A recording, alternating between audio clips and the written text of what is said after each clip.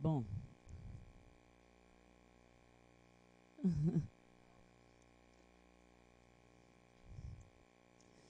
Bom, boa tarde, geral. Obrigada pela presença. Eu agradeço muito esse convite da Flora, Tânia, todo o apoio aí que, que me deram. E estou muito feliz de estar aqui, embora um pouco nervosa. Mas nessas horas também eu lembro uma história do Andy Warhol, que ele sempre dizia que quando você tem uma espinha, tá com uma espinha, então você chega e daí você já fala, você chega numa festa, por exemplo, daí você já fala, olha, tô, ai, tô com uma espinha horrorosa aqui. então, é essa história para ilustrar o meu nervosismo. Bom, é, na verdade, esse pequeno statement aí tal, eu imagino que talvez se, muitos de vocês já tenham lido. Eu vou ler assim só para uma espécie de um resumo da ópera. Né? É, por aqui. Por aqui. Eu sempre me interessei pelo contato entre as linguagens, na geração de significados através do confronto de diferentes linguagens, particularmente a verbal, a visual e o aspecto sonoro das palavras. Sinto grande prazer em criar relações entre os códigos por meio de justaposição e contaminação de um plano ao outro, trabalhando nos limites, nas fronteiras. Não há uma regra fixa em meu processo criativo que determine as prioridades, prioridades ou hierarquias de linguagens. Às vezes é uma palavra, uma frase, uma linha, um quase verso que brota e a partir dessa forma verbal estabeleço a expressão visual e oral que atribuirei a esse conteúdo. Em outros, o processo é invertido. A linguagem visual se impõe e o texto é concebido depois.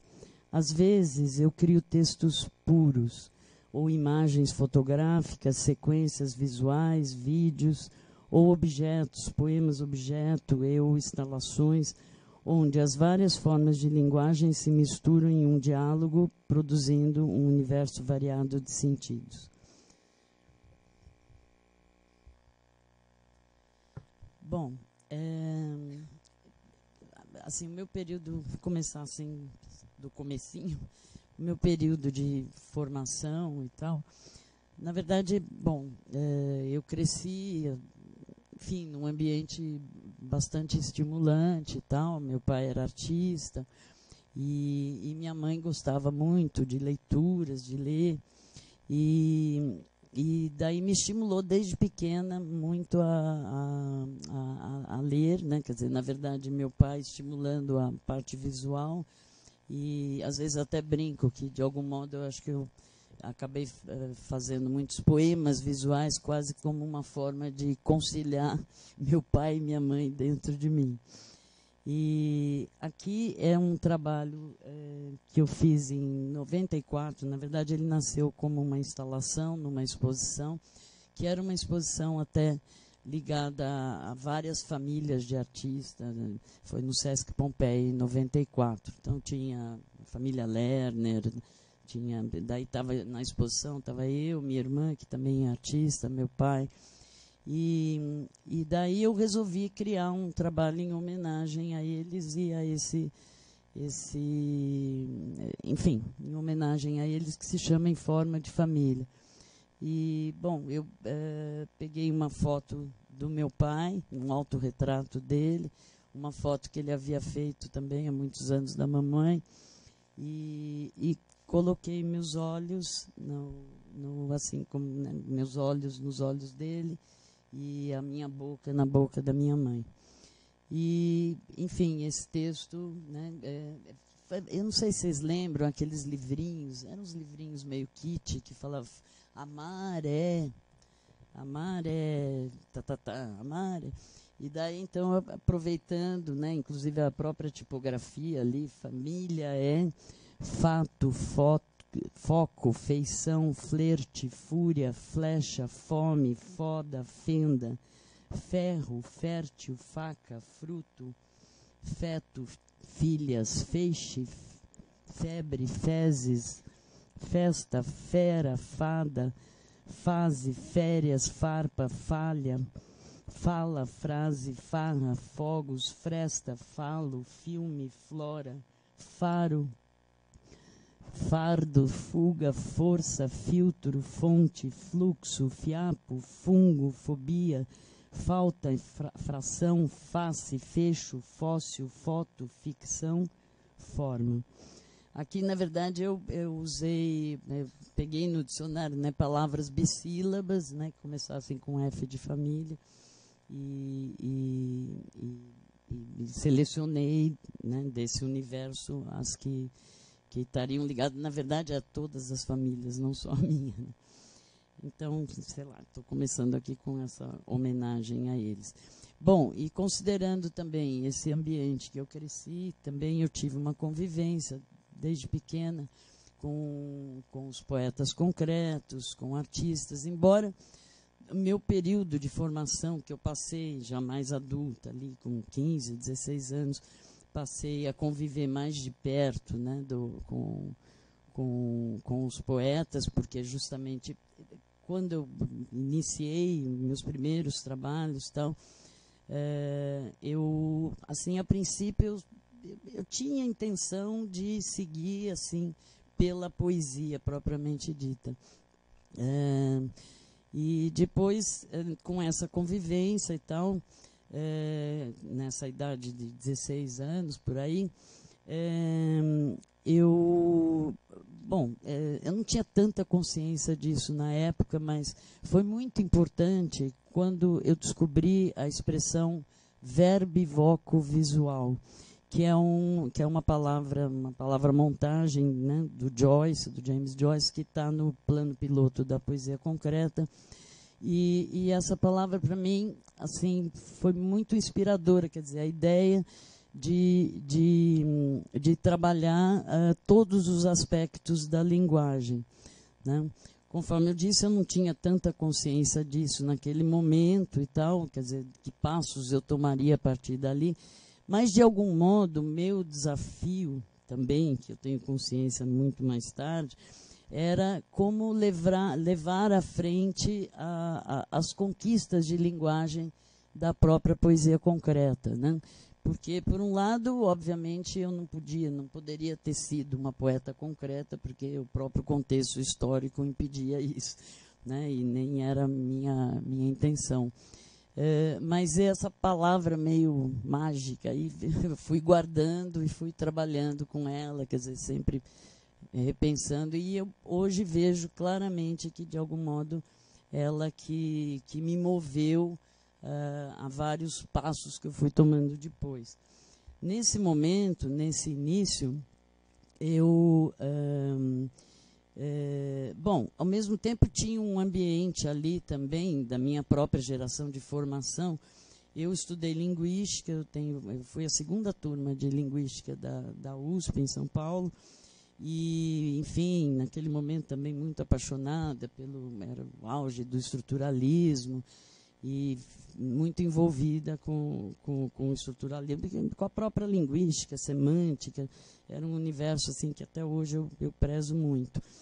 E, por outro lado, um contexto de época também, descobertas ali, de, é, da arte pop, da, da, da, da, da poesia, da, da, da, arte conceitual, é, também do grupo Fluxos, que foi muito, assim, artistas muito importantes, particularmente a Yoko Ono, porque eu também era, tinha sido bitomania, tinha sido, não, sou até hoje, totalmente bitomaníaca. Eu tenho um autógrafo dos Beatles, tenho carteirinha do fã-clube com 11 anos, fã-clube de Liverpool, da Frida Kelly.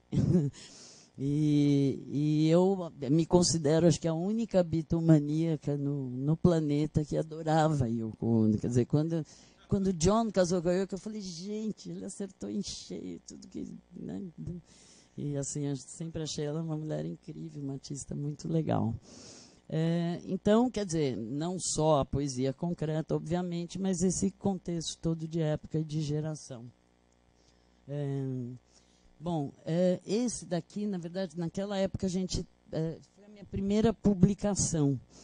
Né? É, até que depois, dez anos depois, até vou mostrar aqui rapidinho, o, eu fiz um vídeo, mas esse, esse trabalho em homenagem ao George Segal, eu publiquei nessa revista, Poesia em Greve, é, naquele momento também, é, na verdade a gente, sei lá, os, os meus primeiros trabalhos eram sempre publicados em revistas que naquela época tinham muitas super legais. A, essa poesia em greve, na verdade, foi o Júlio Plaza, a Regina Silveira, que, que, o Augusto de Campos, o Regis Bonvitino, poeta, enfim, a gente editou juntos.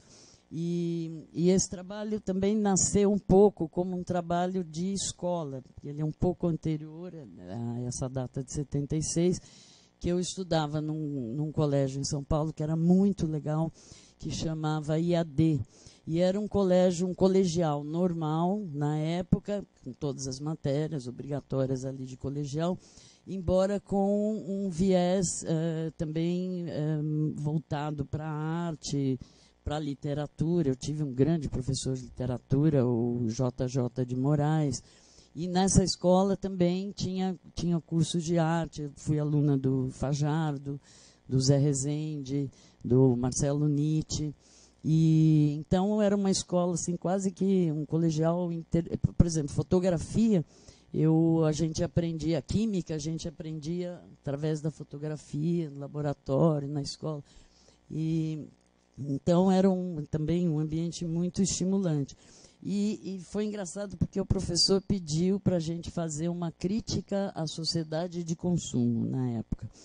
E daí eu tinha, mais ou menos recente, tinha eh, tomado contato com a, com a pop art e, bom, tinha tido aquela famigerada Bienal em São Paulo, dos pop, pops.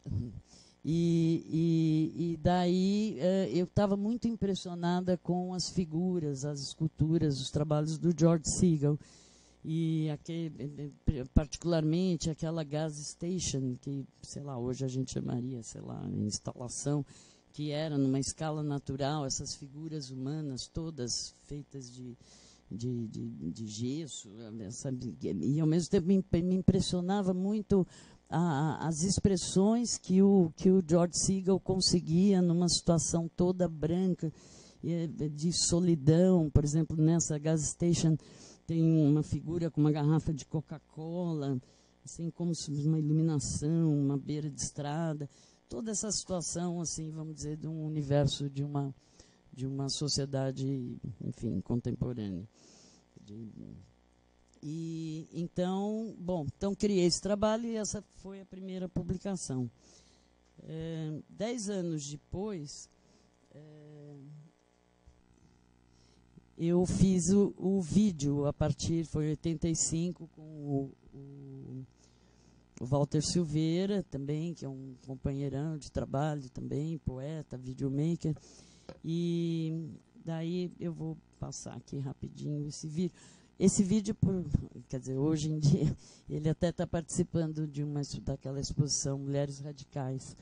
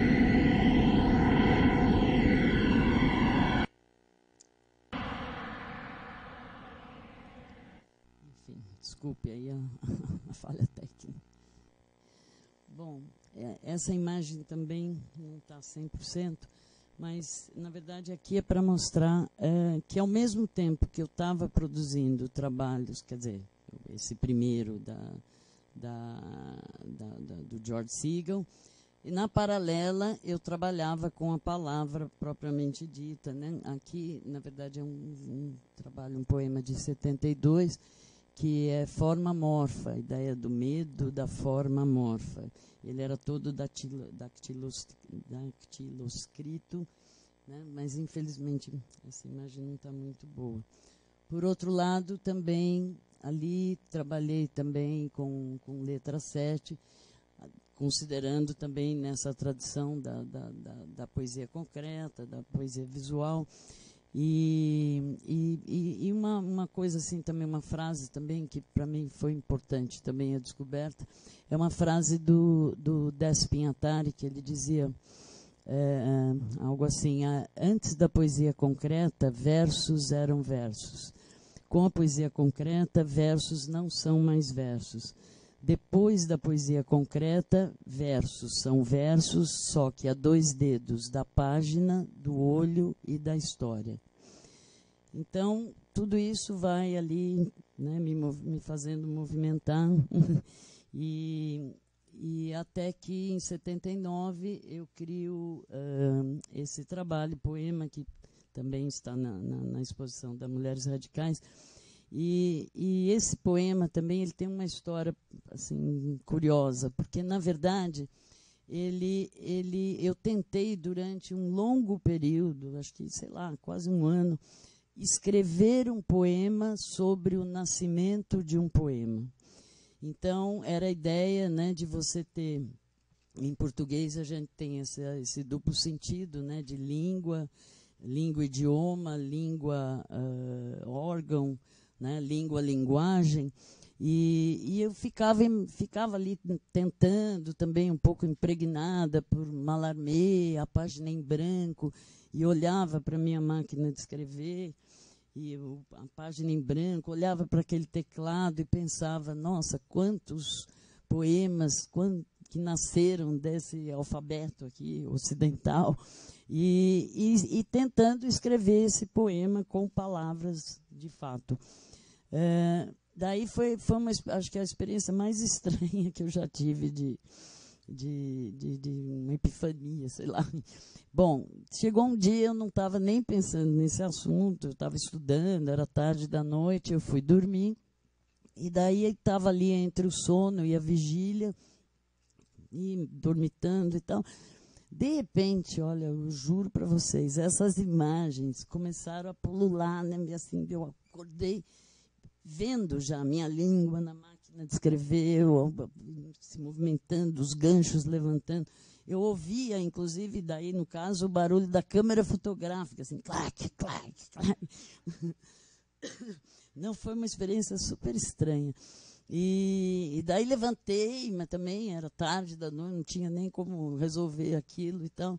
E daí, no dia seguinte, eh, eh, conversei com a minha irmã e tal, daí a Fabiana, e daí ela registrou as imagens ali, depois, enfim, editei. Mas foi, eu acho que ele, de algum modo, é um momento, assim, justamente que revela esse, não exatamente um conflito que eu estava vivendo entre palavra, imagem, linguagem visual, linguagem verbal, mas, de algum modo, eu acho que ele me, me trouxe, assim, um pouco um, um caminho. Essa ideia também de trabalhar com sequências, né? De essas, vamos dizer, uma pequena narrativa aqui, uma situação, é, como já vinha ali do George Siegel, tal, né, quando eu fiz a versão fotográfica. E tudo isso depois eu, é, ali em 1980, eu fui reunindo alguns trabalhos e publiquei meu primeiro livro que se chama Onde se Vê, e que também tem uma história curiosa, porque eu, uh, os poemas que estão nesse livro, uh, eles nasceram, primeiramente, alguns deles, a maioria, nasceu de uma experiência em movimento, de vídeo-texto. O Júlio Plaza, na época, uh, se interessou por vídeo-texto, era um sistema que a Telesp estava lançando em São Paulo na época, e, e que é ali um pouco um, uma, uma pré, pré. São recursos gráficos que a gente podia trabalhar com, com letras em movimento. Então, vários dos poemas que, que, que, que, eu criei, porque depois, enfim, ele foi o curador de uma exposição, vários artistas, poetas participaram, e, e justamente tomando contato com esse, com esse com, essa, com esse, esse vídeo texto. E então esse, eu tive quando eu fui publicar o livro, na verdade, eu tenho uma produção também bastante homeopática. Então, durante, por exemplo, esse livro são 12 poemas que na verdade foram produzidos em mais de quase 10 anos, mais de 10 anos. E, e daí eh, eu tive eu tive que justamente partir, por exemplo, esse aqui no videotexto ele ficava em movimento, né? E ao mesmo tempo ele ia criando uma situação de um eclipse, a lua, o sol, né? a ideia do, da, né? de, um, de, um, de um namoro entre, entre os dois. E, e, ele ia se movimentando até criar um, um, eclipse, um que eu chamei de esse colapso. Né? É, aqui também mais um outro que está no livro. Esse, particularmente, não, não estava no vídeo texto, é, mas, enfim, é, que eu até faço uma leitura, vou fazer aqui rapidamente, que é o Ri Chora. Então, é. Ri.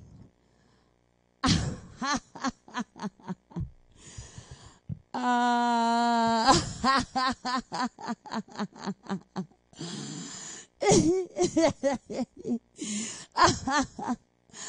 oh, oh, oh.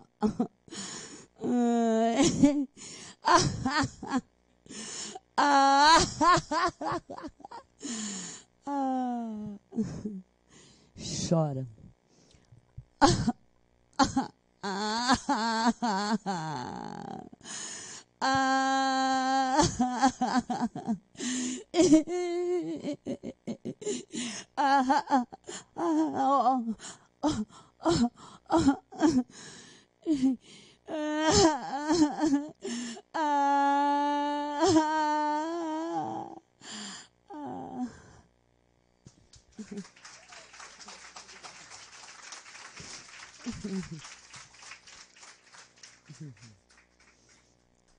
Esse próximo eh, já contém uma leitura eh, que eu vou, vou, colocar, que eu fiz em parceria com o Cid Campos. A gente trabalha muito junto e tal, com essas leituras. Bom, e aqui só reforçando que cada vez mais essa situação do, do verbo e voco visual, de ir explorando a linguagem no, no seu no sentido, no, na sua visualidade, na, na sua, uh, no, no som, né? Então, verbal, oral, verbo, vocal e visual. Então, aos pouquinhos também a coisa foi, foi indo nessa direção.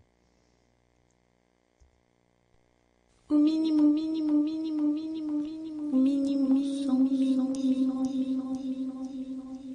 mínimo, mínimo, mínimo, mínimo, som, som, mínimo, mínimo, mínimo, mínimo, som, som, som.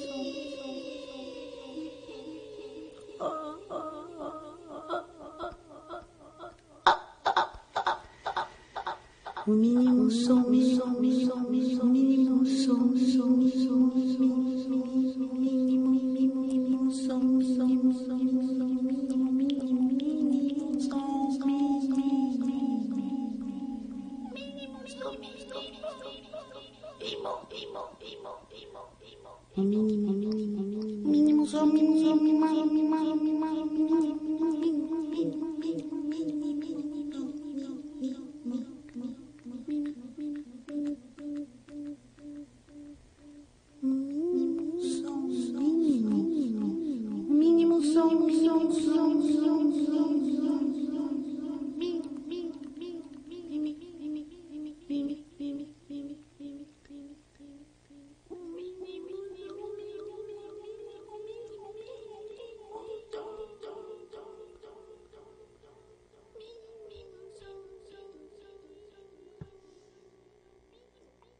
também, é, esse, esse poema ele nasce também de uma da leitura de um. Bom, primeiro, quando eu era criança, eu tinha essa viagem de ficar tentando achar. A, a, conseguir fazer o, o, mínimo, sou o mínimo. Né?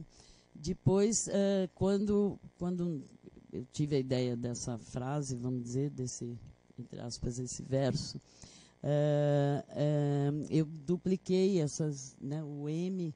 Então você tem uma leitura meio, quer dizer, uma leitura anagramática, né? Ele pode ser lido com a, com a repetição dos dois M's e do, do O. o, o. E, e, e, ao mesmo tempo, nesse momento, eu estava já na faculdade, tal, estava lendo um texto do, do Roman, Roman Jacobson.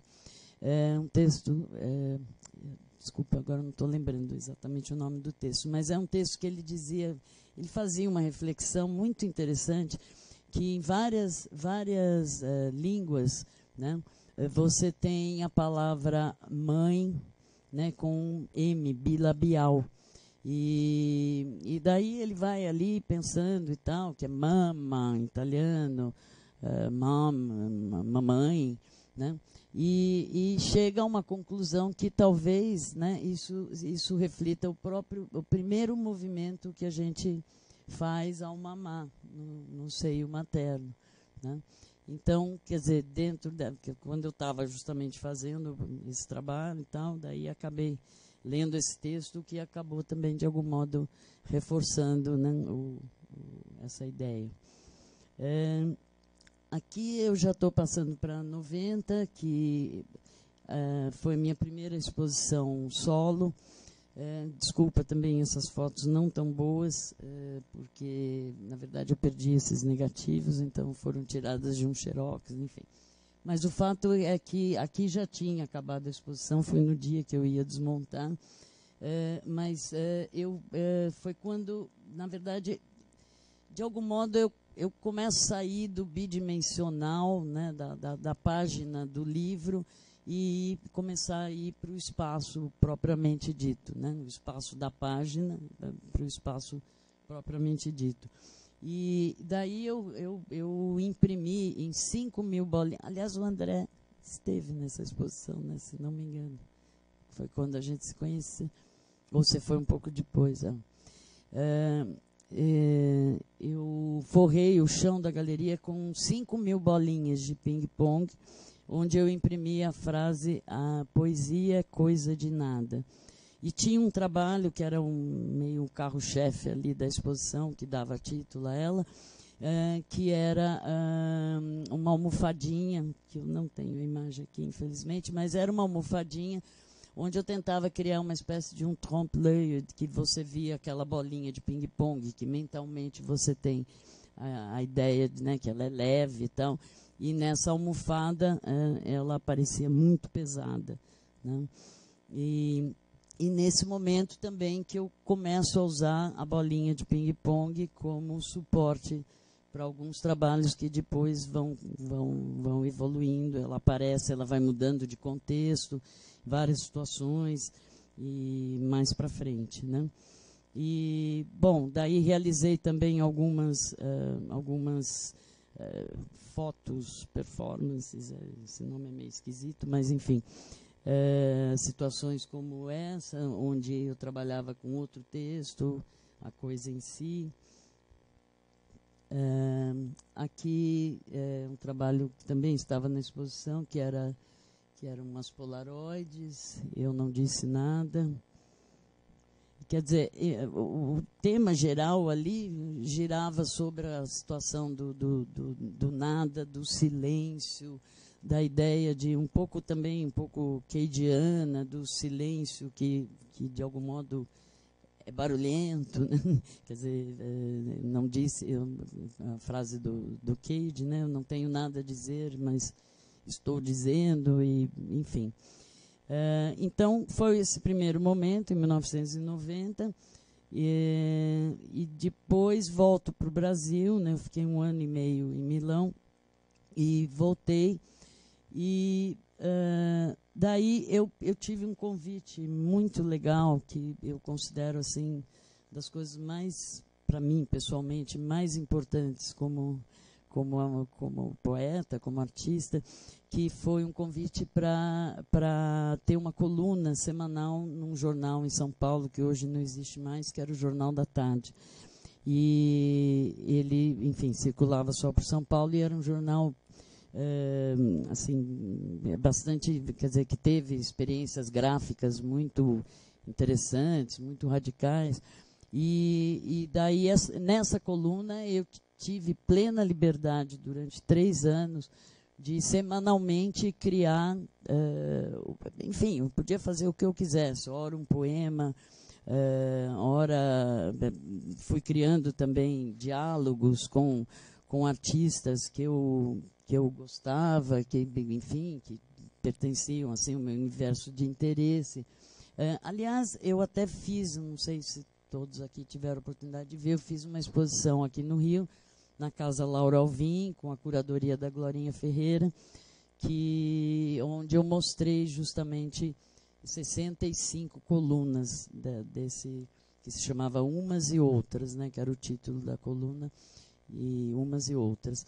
É, quer dizer, só umas, e, e, o título eu botei na exposição de umas e outras. Enfim, e daí aproveitei essa coluna depois para várias outras situações. Quer dizer, é, é, e daí fui começando a perceber também que muitos dos trabalhos que eu publicava nessa coluna, eles foram, é, por exemplo, tinham textos que depois viraram vídeos, é, é, textos que, que ou imagens que no fim eu aproveitei para né, aqui até por exemplo não desculpa é, nesse caso é, ali são quatro imagens daquelas quatro primeiras que depois vão aparecer num trabalho meu uma série que chama Procuro-me e, e, eu elegia temas assim ficava nossa foi assim um laboratório incrível uma, ganhei uma disciplina, né, porque você tinha que criar ali semanalmente esses trabalhos. E, e, e, esses diálogos tal foi assim foi um momento muito estimulante que eu considero assim pessoalmente como um, um marco antes da coluna e depois da coluna porque ela me abriu para vários outros trabalhos. E enfim aqui também ali até tem um texto ali, enfim, vou ler também para não ficar também para ganhar tempo, não me estender muito, é, mas a que acabou também gerando toda depois uma reflexão que se chama isso é osso disso. Então eu fui percebendo também que meu trabalho de algum modo uma coisa, acho que isso também faz parte de um processo de todo todo poeta, todo artista, enfim, né, que você ao longo do tempo ali uma coisa vai te levando a outra, mas sempre ligada a, uma, um fio de meada lá que vem né, dos seus primeiros. É, depois aqui tem, por exemplo, essa, esse diálogo com artistas ali, com o Tunga, que foi uma experiência, uma instalação que ele fez em São Paulo. Esse eu acho que eu vou ler.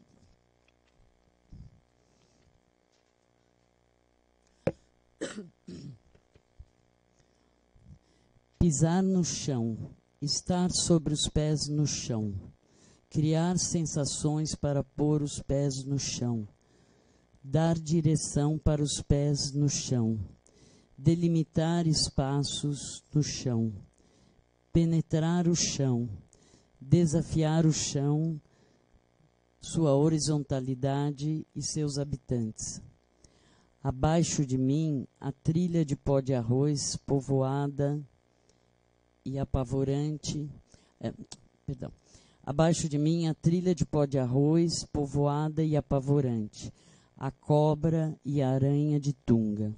A cobra tocou meu pé direito.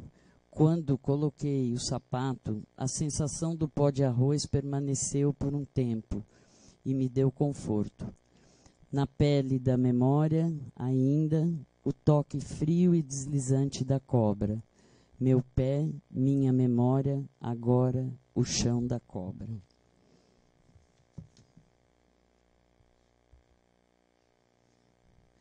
Então, nesse caso, né, era um poema visual propriamente dito, né, que é A memória de minha memória apagou-se de si para esquecer-se de mim. Isso foi quando eu tinha no computador, né, que a gente ficam os folders e tal, foi quando acho que foi quando eu fiz 40 anos que, que eu fiz em homenagem a mim mesmo. aos meu, meus 40 anos. É, bom, aqui é só para ter uma ideia, na verdade, do, da, dessa exposição que eu fiz no Rio, umas e outras, e depois ela foi para São Paulo, foi para o espaço do Pivô, e eu trabalhei é, com. Eu fiz um, eu gravei um vídeo no Pivô na época, vim para o Rio, mostrei o vídeo, na verdade eram leituras de 13 colunas que eu selecionei dialogando com artistas mulheres. Então, Lígia Clark, uh, Yoko Ono, Annette Messager, uh, enfim, várias, várias, várias artistas. E, e, e esses, uh, esses textos eu fazia justamente no vídeo, eu faço uma leitura assim mais performática, né? uma coisa, uma performance mais vocal, um pouco parecida com algumas que eu fiz aqui. aqui só para ter uma ideia, ali, enfim. Bom, aqui é, foi a minha primeira instalação sonora. Ela foi em 94, é, é, foi uma exposição que aconteceu em São Paulo, que se chamava Arte Cidade. Ela teve três versões, é, tinha na época a curadoria do Nelson Brissac, e, e daí hum, essa foi essa primeira instalação sonora, onde justamente eu, criei, eu, eu usei, retomei a questão da bolinha né, como suporte e, e, espalhei, quer dizer, na verdade tinha essa, esse sistema que foi uma loucura para ser construído, mas enfim, a cada um minuto pingava uma bolinha, né, onde você tinha a, a, a, essa frase, a cidade oxida, e no momento que essa bolinha pinga, pingava, ela, né, elas iam se espalhando pela sala, vinha a minha, a minha voz assim mais uh, vamos dizer mais gutural né onde eu, eu, eu falava da, eu falava uh, a cidade oxida e uma ideia de um de um como se fosse que na verdade esse trabalho também foi um pouco inspirado no poema do Drummond que que tem a gota d'água que vai pingando e ali vai, enfim, né, você não vê exatamente o que está acontecendo naquela pia, naquele ralo, mas é, essa água vai ali oxidando, né, e, e, e então, é, quer dizer, partiu um pouco desse, desse poema do Drummond e, e, e virou esse ácido da cidade. Bom, aqui também são alguns trabalhos né, que também ainda naquela ideia, quer dizer, aqui retomando a ideia da, da, da língua como, como metáfora de linguagem, como imagem de linguagem também, língua, órgão. Esse é um trabalho que eu realizei em 98, que foi a, a Bienal, a vigésima, acho que é, do Paulo Reckenhoff, da, da, da antropofagia.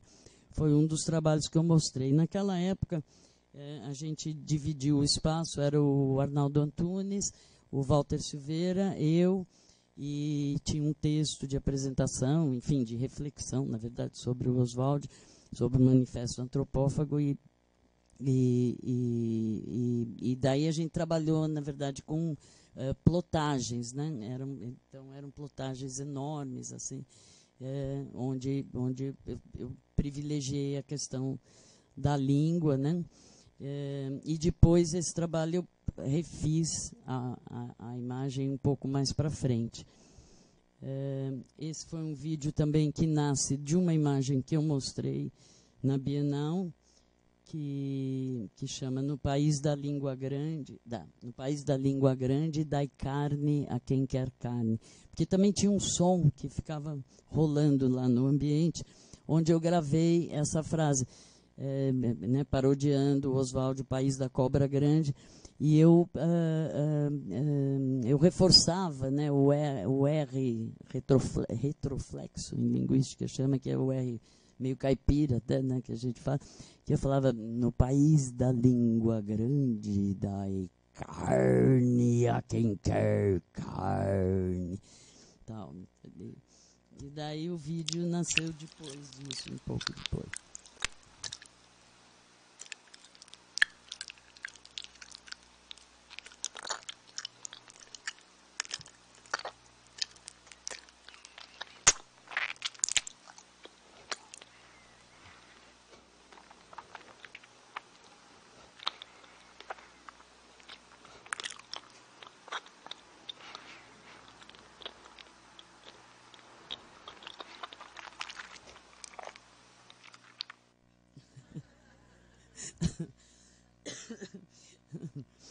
Essa, essa cara que eu faço no final, o Marcos, meu marido, ele fala que parece o Coringa do Batman. Esse também é um outro, esses são curtinhos, onde justamente também essa situação, né? Porque sempre eu tô como protagonista aí das situações, quer dizer, eu uso, trabalho muito nesse plano, né, da região da, da linguagem, da língua.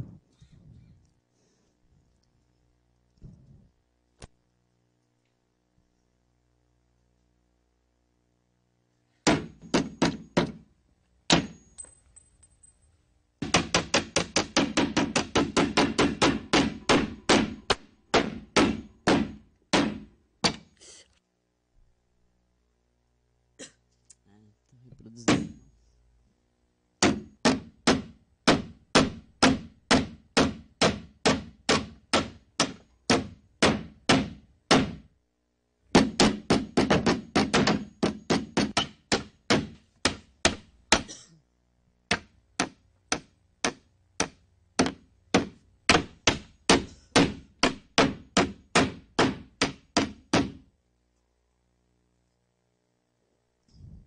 Bom, aqui também eu retomo uma fotografia, né, uma sequência fotográfica que eu fiz em Milão, que tinha ali a palavra silêncio, onde eu tiro ou ponho a, as letras dessa palavra na boca. E também foi um momento que eu também comecei a tentar explorar um pouco a situação de trabalhar entre a fotografia e o vídeo. Né? Então, aqui no caso, eu trabalhando com uma foto. Bom, teria mais um vídeo, mas não vou mostrar também para ganhar tempo. Mas o fato, quer dizer, essa imagem, essa imagem desse vídeo é estudo para facadas, que é a ideia também dessa faca que vai, vai vindo de, de, de dentro da, da boca, da garganta, da língua. Bom, aqui uh, foi em 2000, uh, eh, quer dizer, estou fazendo um ir e vir aí mais ou menos, é, foi um, um, trabalho que eu fiz para uma exposição, é, também foi lá no Sesc Pompeia, na época. Era uma exposição que era que todo ano acontecia a partir de um prêmio que o jornal Estado de São Paulo é, dava para personalidades, enfim, é, que se destacavam ao longo, ao longo do ano. Então você tinha ali todo ano e a curadora na época, é, era Angélica de Moraes, cada vez que, que, que, que, acontecia essa exposição, ela chamava artistas para escolherem uh, uh, personalidades ali para criar um diálogo, uh, um trabalho que dialogasse. nesse ano que ela, que ela me convidou, eu, eu, dei a sorte tal que o Boris Schneiderman, né, que é o enfim grande Boris Schneiderman, escritor, tradutor da, da Rússia, da, da, língua russa, poemas, trabalhou também com, com os irmãos Campos. E, e, e, e o Boris estava indicado ao prêmio, e daí eu resolvi criar um, um, um, uma espécie, um, diálogo com as vanguardas russas, né, que também ele ajudou a divulgar. E, então eu criei esse ambiente com vários, várias peças. Aqui, na verdade, é a primeira vez também que os elementos do jogo entram no meu trabalho, não só a bolinha, né, mas elementos do, do jogo. E cada peça que ali está, tal, elas são, são diálogos com, com trabalhos específicos. Por exemplo, é, você tem aqui, aqui um diálogo com Malevich, os atletas. Depois tem outro ali, que é Rodchenko. você tem, por exemplo, aqui é, um, é inspirado num, num, trabalho do Rodchenko, que é o Dobrolé. Enfim, eu daí fiz uma pesquisa nesse universo. E, e os cartazes que ali que estão na frente ali daquela primeira imagem que eu mostrei, que eu criei um mural, eu fiz em lambi, né, até aproveitando também um meio né, que era usado pelo pelo pelo grupo de, de, de, né, do, do, futuro, como futurismo. Então, é, é, a partir da capa do primeiro livro do Mayakovsky, né, que tem a imagem da Lilia Brick, que sempre também, desde cedo, me impressionou muito, esse olhar, esse olho né, espantado, essa foto linda. E, e substituí, porque eu mantive o título, que é Projeto, do, desse livro, que, é, que quer dizer, foi traduzido como disto, né, about this, e, e, e, aqui escrevi, no lugar de Mayakovsky, Ping Poema. Bom, esse trabalho também tem uma, uma leitura que, na verdade, você tinha é, uma cadeira onde eu criei um texto e trabalhei com a Noemi Jaffe, que é uma escritora, né, que é escritora, e, e, ela falava, ele foi gravado em dois canais, ela falava em português, eu falava em português num, e ela falava em, em russo aqui, traduzido, e tinha. Mas estou preocupada com a hora, eu acho que não sei quantos minutos eu já passei. é, enfim, enfim, se depois tiver tempo eu mostro o, o, som, né, que ele é um pouco longo nesse caso. É, bom, aqui Aqui é uma continuação dessa situação de, de ping-pong, de ping-poemas, ping-poem, é, que é uma exposição que eu fiz em 2002 na Galeria Milan, em São Paulo, onde eu crio essa mesa. Até por uma feliz coincidência, esses trabalhos vão estar reunidos na, na Semana de Arte, que vai acontecer né, daqui na outra semana, aqui no Rio, num, num solo que eu vou ocupar justamente com, com vários desses pink poems. E aqui nessa exposição também, cada, cada situação, cada objeto que eu criei, ele, ele também, eu imprimi textos, quer dizer, cada trabalho tinha, tinha, tinha uma situação textual. É, por exemplo, bom, aqui também continuo dentro do universo dos Pink Poems, foi uma exposição que eu participei aqui no Rio, e onde eu criei essa instalação, que é a partir dessa frase, deve haver nada a ver. Então, essas placas né, eram, eram suspensas ali, e elas, eh, eh, em cada uma, eu tinha, eu, eu extraía um, um, um sentido, tipo assim, sei lá, eh, deve haver, deve, cada bolinha era escrito deve haver nada a ver. Então, deve haver nada, deve haver nada a ver, nada, deve haver nada a ver, e, e por aí vai. Então, e elas ficavam soltas ali, flutuando, e, e às vezes com vento, elas se mexiam, mas elas tinham uma situação assim que, é, enfim, elas não caíam da, da, dessas placas, né? E você ali tinha o headphone que você podia passear ouvindo cada frase que estava em cada placa dessa. Bom, aqui já estou me encaminhando para o final. É, aqui a gente tem, bom, é uma série de trabalhos que se chama Procuro-me, né? Talvez vocês conheçam, até uma época eu mostrei aqui no Rio, com, quando eu trabalhei com a Laura Marciai, e, e esse trabalho, na verdade, eu fiz essas imagens num shopping em São Paulo, Shopping Guatemi, e na época que eu fazia minhas colunas, até aquela que eu mostrei. E, e foi uma situação super estranha, porque eu estava ali no shopping e tal, de repente eu vi um quiosquezinho, um fulano ali que, que você tinha um caderno, lá, um álbum que você escolhia com milhões de tipos de cabelo e ficava em frente a um cabeleireiro. Era uma situação completamente. Imagina se alguém né, vai, vai escolher um cabelo ali. Já era engraçado a coisa em si. E, e daí eu resolvi, como eu tinha minha coluna, eu falei, ah, vou, vou fazer, vou fazer umas imagens, vou, vou usar na coluna.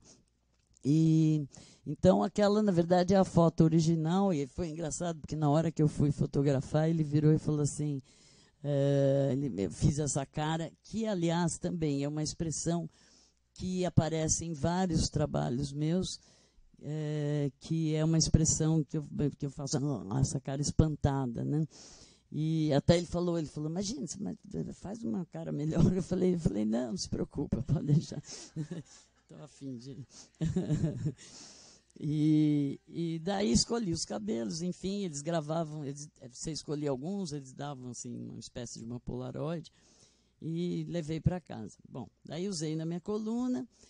Quando foi isso já anos depois, né, já 2001, isso 93, 94. Em 2001, quando teve o ataque às, às Torres Gêmeas, eu, enfim, como todos nós, né, todo mundo, eu via aquelas cenas na televisão, estava totalmente impactada. E, e, na hora, daí começou, daí veio Bush com a cara do, do, do Bin Laden, Wanted e tal. Enfim, naquele momento, imediatamente, daí vendo aquelas várias caras tão procurados, blá, daí naquele momento essas, eu lembrei dessas imagens, né? E daí me veio essa expressão, que, num certo sentido, até é, é, é uma coisa um pouco, sei lá, um pouco clichê, um pouco a história, procuro-me e tal. Mas o fato é que, que me veio aquela ideia de, de que, na verdade, todo mundo estava se procurando de algum modo. Né? E, e daí é, produzi esse primeiro que saiu no, na época no Caderno Mais, até ali um pouco no calor da hora. E mais à frente uh, uh, criei mais quatro cartazes, né, que são os quatro oficiais do Procuro-me. Uh, quando foi ali, 2002, um, eu fui convidada para participar de um. Eles iam em São Paulo, tem o Centro Universitário Maria Antônia, onde uh, esse espaço externo aí, na época o, o, diretor era o Lorenzo Mami, e ele falou, ah, tá, eu estou querendo usar, porque eles tinham esse suporte né, para uh, para cartazes lá da, da, do centro, mas ele falou, ah, eu vou inaugurar aqui um espaço para artistas a cada dois, três meses de, de fazerem trabalhos aqui, que ficariam ali expostos. E daí eu resolvi, falei, bom, então vou colocar os meus quatro cartazes do Procuro-me. Daí passou ali uns 15 dias, tal, estava toda feliz, o trabalho inaugurou, tudo, tudo lindo.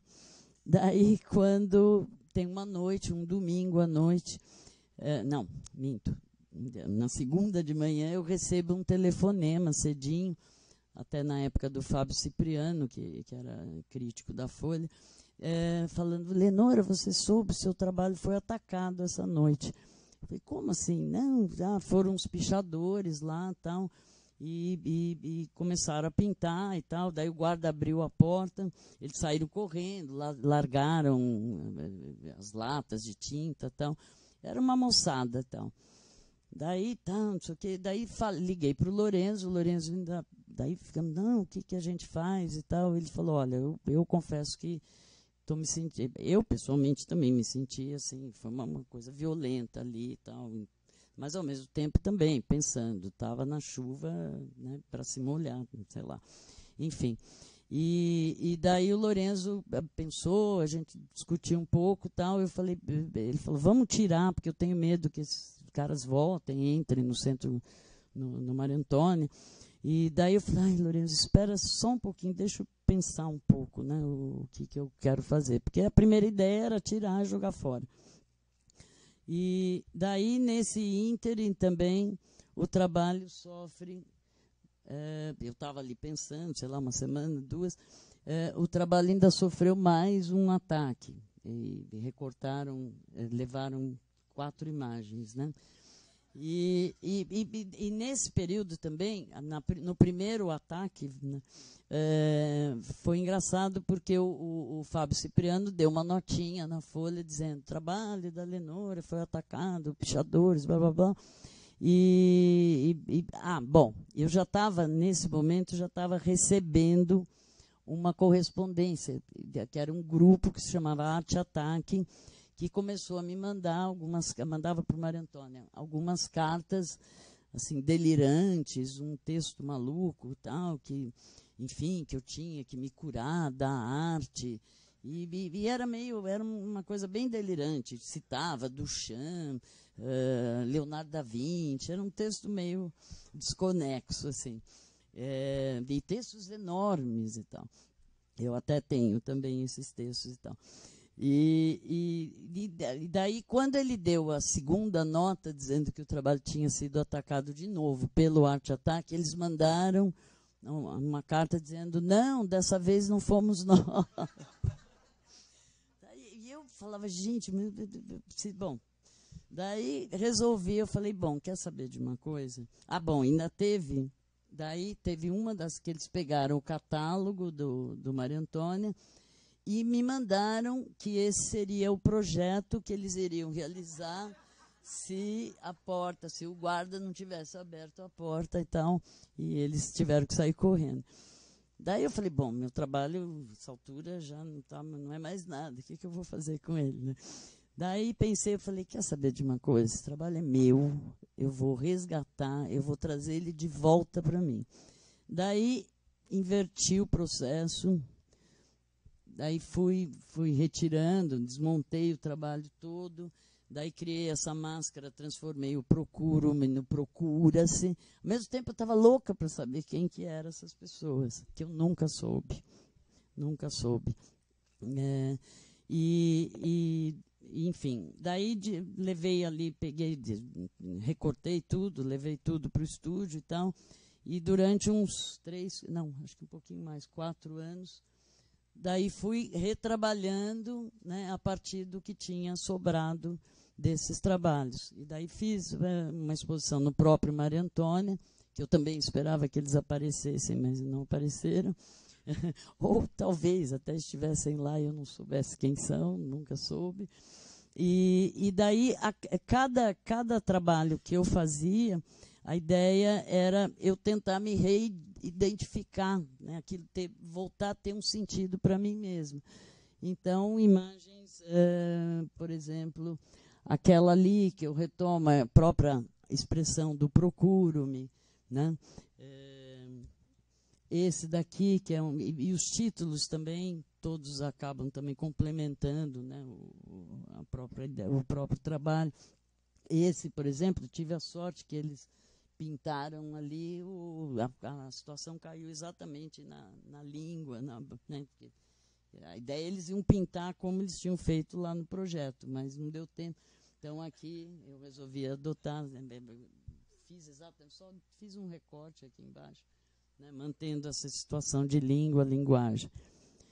Uh, aqui, na verdade, é, é, um dos trabalhos é, é, é, que se chama IFEN, que na verdade é o IFEN do Procuro-me, de Procura-se, e a ideia de que era o que me unia e o que me separava desse grupo. É, aliás, até eu tenho um trabalho que eu estou desde essa época ainda desenvolvendo a partir do próprio IFEM. Quer dizer, a coisa assim, vamos dizer, de ter trabalhado e tal, não sei o que, e descolando agora do trabalho a partir do IFEM. Bom, aqui também é, foram é, é, desde desde George Siegel eu em 85 eu não tinha mais trabalhado com vídeo. E então aqui foi, foi em 2005, na, na Bienal do Mercosul, na quinta Bienal, é, e que justamente daí eu resolvi retomar a situação do vídeo e criar essa, essas performances, que é uma série que se chama Não Quero Nem Ver, também que já mostrei aqui no Rio, numa época, e, e, e que são quatro vídeos com situações, uns tem texto, Outros também eu tenho todos aqui, mas acho que infelizmente não. De todo modo, meus vídeos estão todos no Vimeo. Se Lenora de Vargas, Vimeo está lá. Bom, aqui. Vimeo. Vimeo. É, é, aqui, na verdade, é um trabalho de 2011 que, que eu estava. Bom, nasceu um pouco da, da experiência que eu também tive com a Bienal do Mercosul de 2009. E, e, e eu é, entre os, fiz uma curadoria de uma rádio que se chamava Rádio Visual. E, e nesse período me envolvi muito, particularmente com a questão, a questão da, da, da voz do rádio, da voz sem corpo. Daí fiquei nessa, muito envolvida com essa reflexão e tal. E foi uma experiência maravilhosa, incrível também, e que fortaleceu muito o aspecto sonoro, acabou né, dentro do meu trabalho. É, essa, daí essa, essa, essa, essa, essa, é, foi uma exposição que eu fiz na Galeria Milan, e, e, e, a, e eu embuti son, sons ali, como você tem né, justamente a situação do voyeur, né, aqui era uma situação do écouteur. Então, a ideia de você. Eu criei pequenas situações onde eu performo também com a voz. É, e a ideia de você, né, aquela brincadeira que você ouve né, com um copo na parede. E aqui eu trouxe um exemplo só. Aqui não tem som de nada. Faz para mim um som de nada. Você quer o som de nada? Eis aqui o som de nada. N A D A Nada. Enfim, então são, são várias situações desse tipo. Né? E a ideia também eram, eram frases meio fora de contexto, né? Eh, que você imaginava, era a ideia de estimular ali a imaginação do que poderia estar acontecendo a partir daquelas frases, aqueles fragmentos né? de som. De, de... Aqui não tem som de nada. Faz para mim. Aqui não tem. Aqui não. Bom, é, aqui já é bem mais para frente, né, em 2014. Daí foi um período que eu fui morar em Nova York. E, e daí retoma essa questão do silêncio e tal. Daí eu fui convidada para. Aliás, até também já fiz essa, essa performance aqui no Rio. E, e, e devo fazê-la também daqui duas semanas no Pão de Açúcar. E, e a ideia, quer dizer, a ideia de uma pregação, né? E você tem justamente esse duplo sentido em português, né? De pregar e pregar. E a ideia de pregar o som do silêncio, quantas vezes, sei lá, for, for necessárias. E então essa foi a primeira vez que eu fiz em, em Nova York. E normalmente eu conto com, com um grupo de pessoas que, que ali começam a performance comigo. E a ideia é justamente ir martelando, e esse som vai crescendo, né, martelando a palavra silêncio, tentar né, extrair um som do silêncio, né, da própria palavra. Então tem todo esse, esse jogo. Aqui, rapidamente, que foi também que eu fiz na Gentil Carioca, esse também, esse na verdade foi um, um, trabalho que surgiu na minha coluna e que depois eu acho que ele continua vivo cada vez mais, que é a ideia daquele Rodox, né, que é o mata barata e tal. E daí eu faço esse trocadilho, inverto a palavra, inverto a palavra e tem esse chodor, a ideia de espantar os, os vampiros, os a maldade deste mundo. Bom, e aqui finalizando, essa foi a última exposição que eu fiz o ano passado, no final do ano, é, que se chamou Pisa na Paura. E, e essa, exposição, na verdade, ela nasce a partir da palavra paura. Uh, que é uma palavra hoje em dia um pouco em desuso em português, embora ela exista, né? Em italiano você tenha medo, paura, mas em português você. E para mim essa palavra, assim, de algum modo, ela, ela expressa, né? é tipo assim a cuca vem pegar a coisa da da, da, da paura, né? Ela, ela é maior do que medo, sei lá, me apavora mais do que a palavra medo. até pela, pela, pelo fato também, eu acho, de estar um pouco em desuso, né? então ela vem mais forte, com mais significado. Durante o período também que eu estava preparando essa, essa exposição, é, durante o processo ali, eu também tive a oportunidade de assistir uma entrevista do Jorge Pontual, naquele programa Milênio, com uma, uma escritora, jornalista russa, que vive nos Estados Unidos, que chama Masha Gessing. E, e eu fiquei muito impressionada, porque ela, ela falou coisas incríveis, entre elas. Ele pergunta para ela é, por que que você não escreve mais em russo? E, e ela fala poxa essa pergunta tem todo sentido e tal porque para mim quando eu tive a oportunidade de voltar para a Rússia eu comecei a assim fazia alguns anos tal ela foi visitar enfim é, ela começou a perceber o quanto a, a, a língua russa estava sendo esvaziada violentada, dilapidada.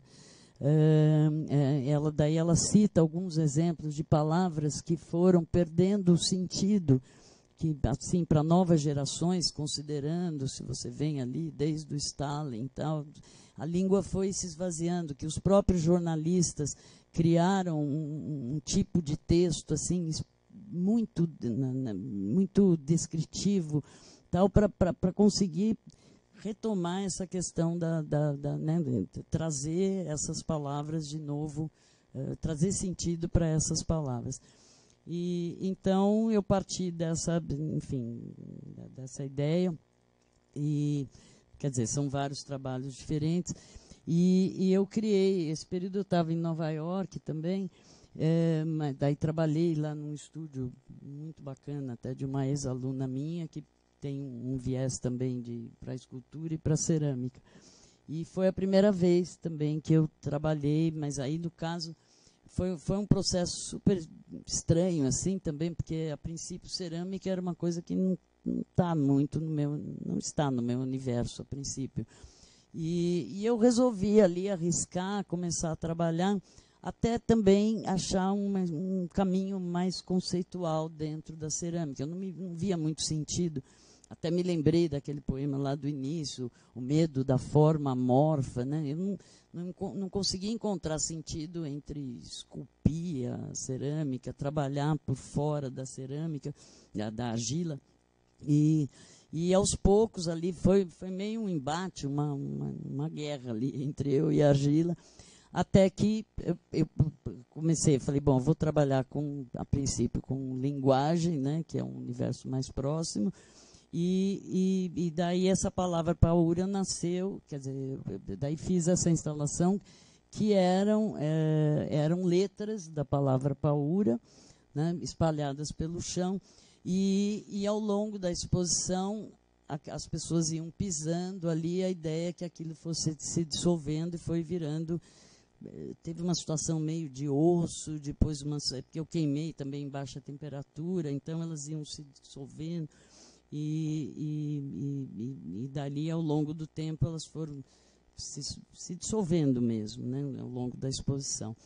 Daí eu fiz esse mural na entrada da, da galeria, onde eu fiz essa escrita obsessiva, pisa na paura, que era a ideia justamente de enfrentar essa cuca, esse medo, né? É, e, enfim, aqui também teria, mas acho que tem uma situação de, das pessoas pisando, mas também acho que não é o caso de mostrar agora. Bom, aqui já dentro da, do espaço eu trabalhei com. Porque teve um momento em Nova York que eu percebi que justamente eu não podia eh, trabalhar por fora, mas que na verdade eu tinha que entrar por dentro da argila. Né? E, com, e daí, quando eu tive essa, essa percepção, eu daí passei a trabalhar de criar essas que eu chamo são máscaras de mão. Né? Então, são essas que eu produzi lá. É, e a partir dessas máscaras de mão, justamente eu fui criando ali com fotos, né? eu fui criando esse um diálogo, quer dizer, duplas aí de conversas que até é um trabalho também que eu espero que evolua para uma situação que é um projeto que eu tenho também para daqui a pouco, que é, que é uma situação de ventríloco, né, de trabalhar com formato ventríloco, com essas conversas de. Com essas máscaras de mão. Que são essas aqui, aqui é uma delas. Aqui são todas elas, essas que eu produzi lá e que estavam na exposição. Depois criei essa peça também, que é a ideia chama Papo Aranha, que a ideia é justamente de um, de um diálogo praticamente impossível de situações, né? E esse alvo, essa imagem desse alvo, eu, eu encontrei na internet tem uns oito, dez anos, há muito tempo atrás. Tanto é que ela nem existe mais, pelo menos eu procurei, ela não está mais lá. E, e, eu imprimi esse alvo e o que me chamou a atenção justamente porque foi um alvo que eu achei onde o tiro fatal você tem ali na, na, na, aqui em cima da boca, entre o nariz e a boca. É, e daí eu resolvi, quer dizer, fiquei com essa imagem durante muito tempo, viajei com ela, levei para Nova York, trouxe de volta, voltei para Nova York, levei a imagem. E eu ficava o tempo todo ali com aquela imagem assim muito forte e pensando que uma hora eu faria um trabalho com ela. Até que veio esse daqui e veio é, e daí fiz um vídeo. Fui numa escola de tiro em São Paulo e, e, e fiquei bom não precisa nem dizer, né? É impressionante a escola de tiro, a situação ali é muito. É, embora seja uma escola para você aprender a atirar, a situação é tensa o tempo todo. É, é, muito impressionante. E principalmente os alvos, né? Que o pessoal vai lá atirar tal, eles vão. Eu também pensava, eu falava, nossa, que loucura, né? São imagens, na verdade, que nunca viveram e morreram, eh, né, foram destruídas, e aquela, aqueles alvos de papelão, assim, tudo esmigalhado e tal. E foi uma situação, assim, forte. E, ao mesmo tempo, eu pensando justamente na situação, na, nas ideias da Masha Gessing, ela falando a questão da violência com relação à linguagem e tal. E daí, para finalizar, eu vou mostrar para vocês. Bom, aqui uma outra vista esse vídeo só para encerrar agora. Desculpa, viu?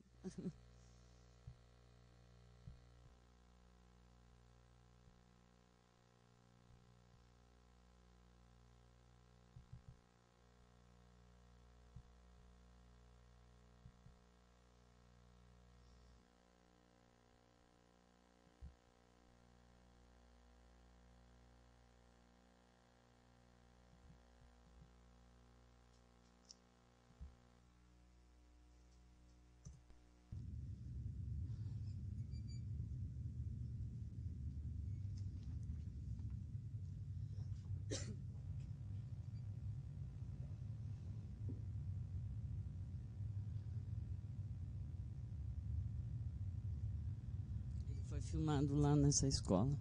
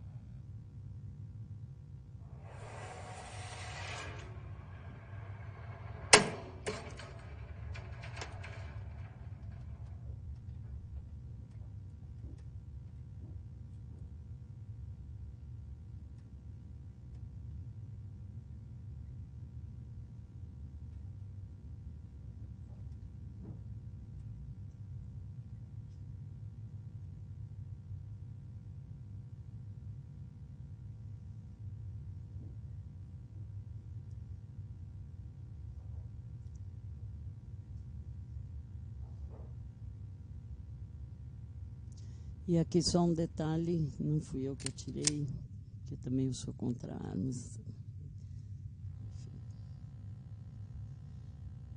Bom, desculpa, avancei um pouco no horário. Desculpa, Ana. Obrigada.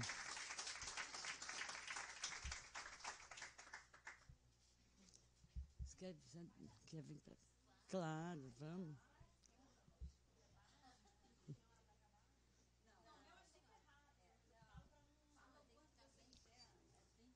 É, eu passei.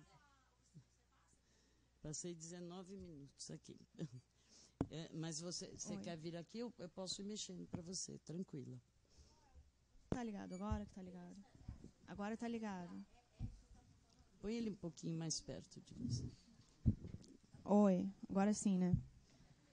Bom, queria agradecer o convite, né? Agradecer também a fala da Lenora, que foi incrível. Eu vou ser bem breve. É, enfim, esse é um primeiro trabalho. Esse não é o meu primeiro trabalho, mas é um dos primeiros, né? Chama Em Pena Cega, de 2001. É, eu tinha acabado de. Ah.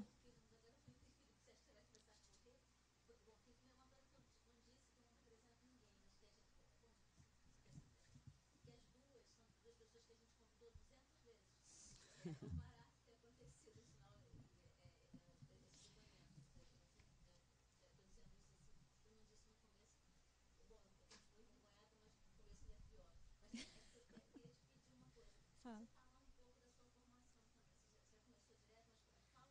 Não, vai entrar, vai entrar. Vou começar. É, entrou- apareceu a imagem primeiro, mas vou, vou falar. Então, é, eu me formei em arquitetura, né? Assim, a escolha do, do curso, é, eu já queria ser artista, né? Mas eu fui para arquitetura porque, enfim, eu conheci diversos artistas que, que tinham feito arquitetura, o curso de belas artes na época era um curso com um molde antiquado, enfim. Ele se renovou muito, mas na época ainda. é, e, e ainda durante o período escolar eu tinha, eu tinha tido um professor de história que, que tinha feito um trabalho sobre o Hélio e a Lígia, o Hélio, né, o Hélio Seca e Lígia Clark, então eu já tinha algum conhecimento assim de questões que me interessavam e eu estava mais interessada em questões espaciais e isso me levou para a arquitetura, né? Foi um caminho bastante tortuoso, mas enfim, consegui atravessar e cheguei aí. Aí, é, é, enfim, acho que o curso de arquitetura poderia ser mais ou menos artístico. No caso do curso que eu fiz da UFRJ, era bem técnico, né? Acho que em outros momentos, em outras faculdades, em, enfim, até em outros países, é, dependendo, a arquitetura vai para um lado ou para outro. E o da UFRJ acabou se revelando um curso bastante técnico. É, enfim, aí eu já tinha me formado, né? Eu não conseguia atuar como artista durante o período da faculdade, assim, exigia muito e tal, e ao mesmo tempo eu também queria me formar logo para resolver aquilo, porque não ia já come começar uma outra coisa e e aí acabei criando assim uma relação bastante específica, meio de amor e ódio assim com a arquitetura e e aí esse trabalho foi uma intervenção bem, bem rapidinha, inclusive até vandalizaram no, no primeiro duas horas depois já tinham arrancado tudo, enfim. É, também foi um choque assim esse contato com a, com a rua, né? Assim, como aquilo sai totalmente do seu controle, né? Assim, três, a gente ficou ali na hora que, que eu montei e tal, sei lá, depois eu voltei à noite já já tinham vandalizado. Então O É. ataque foi rápido. foi, foi super rápido, assim, mas foi nessa, essa situação de que a rua é, é, é de todos, assim, né? foi interessante, assim. E aí eu escolhi esse, esse local, era, era- isso daí estava tava numa exposição também, era um, um, um negócio de intervenções mesmo, assim. Eu escolhi esse local, era perto da minha casa, eram duas empenas, então eu estava procurando uma situação de arquitetura ruim, de arquitetura inexistente, de, de um espaço um espaço assim que pudesse ser uma série de coisas e ao mesmo tempo também é um espaço de passagem. E aí tem essa questão do, do uso do, do material efêmero, né, que é o vinil adesivo, e estava interessado em, também na questão da bidimensionalidade, da tridimensionalidade.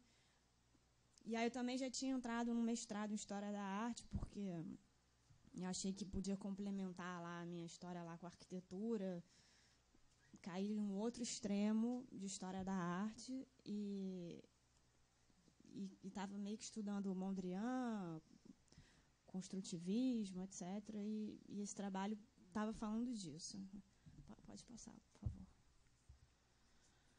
É, aí também teve uma certa interrupção, porque, enfim, tive que defender a dissertação e tal, e, e aí depois tive essa outra situação de exposição, que foi no Solar Granjão de Montinha da PUC, e eu fiz o, esse trabalho que se chamou Rotatória, que era um trabalho é, essa, essa sala é uma sala redonda, né? Então é um, trabalho que, que dividia essa sala, que fazia com que você nunca visse a sala de uma vez só, nunca visse por inteiro, né? Então eu estava muito interessada assim em tentar dar uma uma leitura, uma percep é, é uma, uma como se fala uma, uma proporcionar para o espectador uma percepção espacial inusitada, né? Assim, do, do espaço. E, e ela girava, né? Tem, tem uma outra imagem, você pode, pode passar para mim, por favor? Depois eu remontei no CCBB, e eu, eu fiz uma simulação da sala, e aí você, você, ela, você gira, né? É, tem um filme também, mas eu não botei nenhum vídeo. E pode, pode passar, por favor. É, eu vou para esse, mas depois eu volto. Pro, é, esse é um trabalho chamado Fuga, de 2004, no prédio do MEC. É, eu coloquei placas de sulfilmes de diversas gradações em, nessa fachada de vidro do, do né, que é, esse prédio segue os preceitos do Le Corbusier e o, a fachada de vidro é um dos cinco princípios. Esse prédio é um marco né, da arquitetura, então eu quis, enfim, homenagear e problematizar essa fachada, né?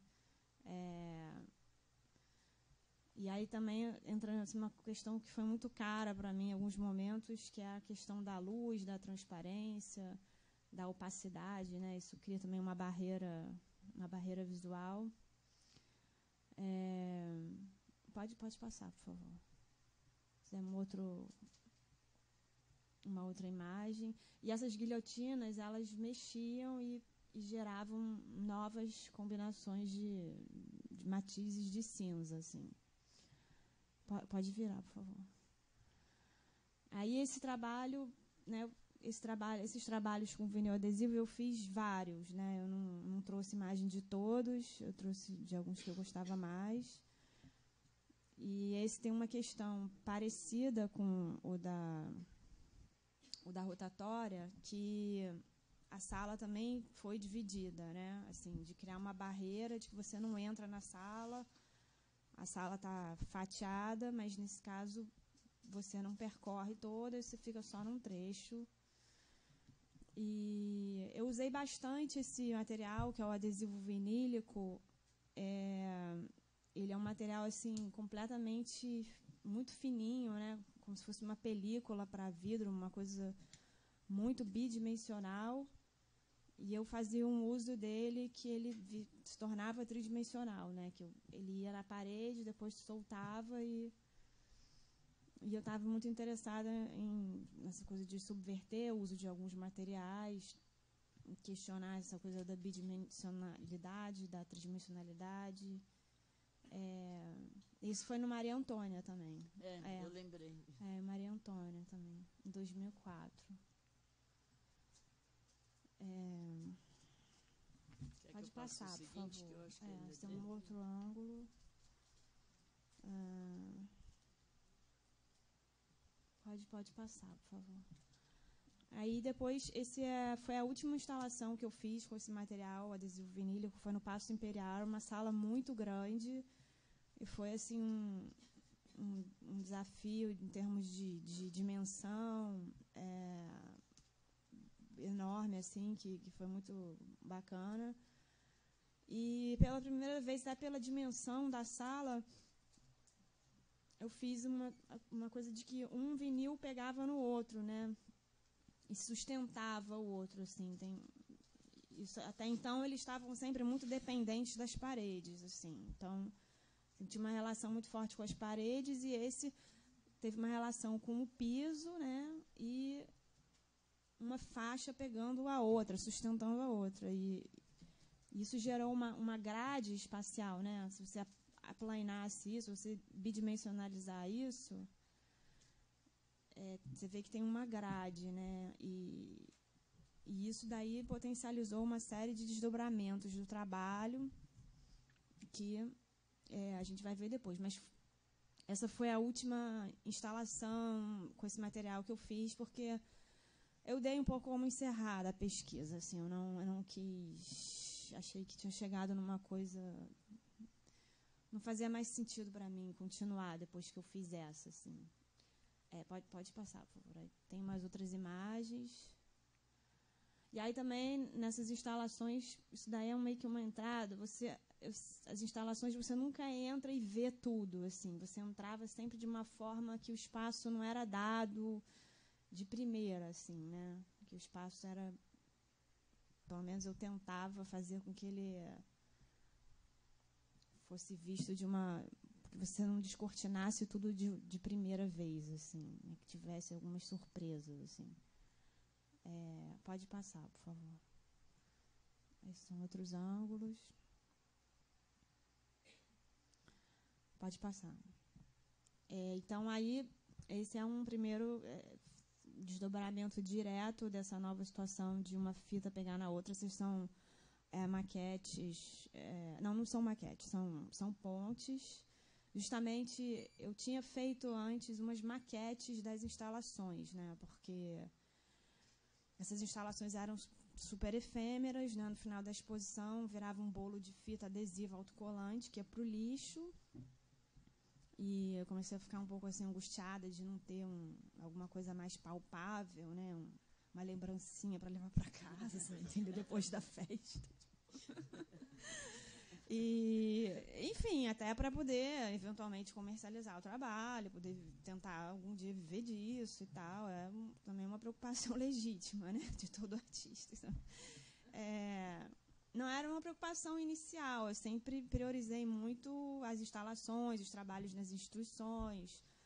Mas, com o passar do tempo, assim, eu fui percebendo que tinha que ter outras coisas a mais, até para uma permanência dos trabalhos, né? Nem sempre você consegue ter uma, uma, uma, exposição e poder fazer uma mega instalação. São oportunidades raras, né, na verdade. Então, é, eu fiz.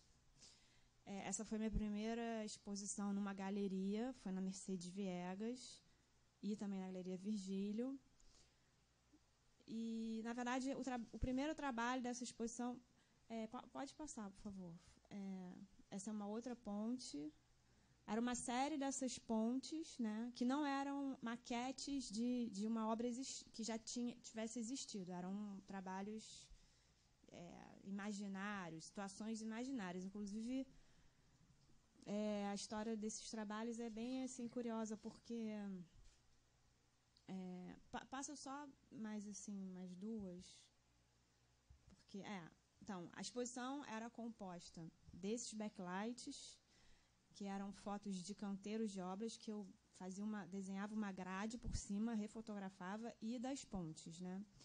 E esse trabalho tem uma história também familiar, porque é, meu pai tinha morrido no ano anterior, meu pai era engenheiro civil, e eu encontrei uma série de slides no, no escritório dele quando fui desmontar.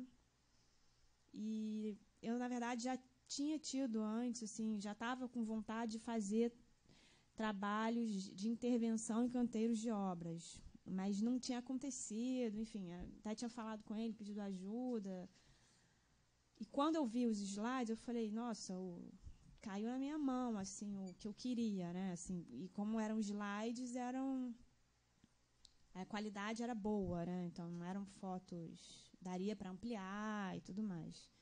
É, então essas pontes, elas se relacionam com esses, é, são com esses trabalhos e e aí, na época, enfim, tinha sido recente a morte dele. Eu encontrei, um, eu conheci um, um amigo dele que tinha sido calculista da, da Ponte Rio-Niterói. E, e aí eu assim, conheci meio na situação da morte assim dele, né? Porque eram amigos mais do trabalho, não eram pessoas que frequentavam assim a casa e e ele era uma pessoa muito muito curiosa, muito instigante, muito viva, assim, né? O, o, o Hernani Dias. E e aí eu, eu ele falou, tenho vários livros de tenho uns livros de pontes e tal, você não quer ver? Aí eu falei, não, não, não quero ver, quero fazer na minha cabeça, essas pontes são pontes imaginárias e tal. Mas aí eu fiquei com esse negócio na cabeça e fui. Falei, não. Aí liguei para ele e falei, não, eu quero ir sim no seu escritório. E ele falou, você me empresta, aliás, você me empresta o livro? Ele falou, não, não é um livro, são milhares de livros. Ele tem um, um apartamento inteiro, de, que é a biblioteca dele.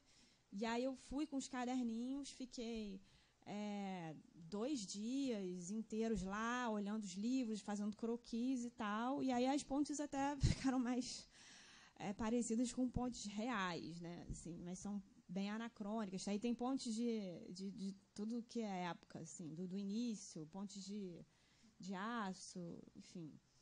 É, pode passar, por favor. Então, é uma, uma história assim desse desse trabalho, desse momento assim que foi um momento é, forte assim para mim. É, pode passar, por favor. Essa foto é da exposição na Galeria Virgílio. São as, as pontes com os backlights. É, pode, pode passar, por favor, Leonora. Aí dei um salto aí, porque, enfim, eu, eu acho que esses saltos acontecem mesmo, assim, no, na criação. Não, teve, tiveram outras coisas ali que eu não quis mostrar, que eu não achei relevante, assim, para que contribuíram tanto para o trabalho. Mas são, são, são tempos, assim, né, de criação que, enfim, eu tive também um filho entre aquela exposição e essa. É, e eu acho que, mesmo que não tivesse tido filho, acho que tem momentos que você para, que você, né, como, como eu falei assim, achei que aquela instalação já tinha já não tinha mais para onde ir, aquela instalação de vinil do Passo, né? Eu fiz essas pontes e ficou também uma questão da durabilidade, algumas pessoas questionaram se esse trabalho ia ter uma boa durabilidade. E aí eu teve um momento de re, reavaliar tudo, assim. E, e aí esse foi um dos primeiros trabalhos que eu fiz depois, que foi o Contramuro. É uma videoinstalação. É a minha única videoinstalação. É, eu fiz pro, pro Rumos, é, Itaú Cultural. Depois esse trabalho foi, foi adquirido pelo Itaú Cultural também, que foi muito bacana, assim. E é, esse trabalho consistiu em três projeções, fechando o espaço, onde o, ia sendo construído um muro, e esse muro, em determinado momento, caía. Né? Então, é, enfim, era um, uma coisa de um um encerramento do espaço, uma ideia de bloqueio também, é, uso do, do material do tijolo, né, material de obra, uma, uma situação de questionamento também desse cubo branco. É, pode, pode passar, por favor.